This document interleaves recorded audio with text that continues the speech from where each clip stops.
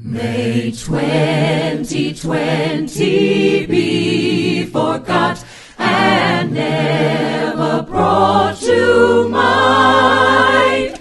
May 2020 be forgot. We've had a real cup time. We've stayed at home and lost our minds. We've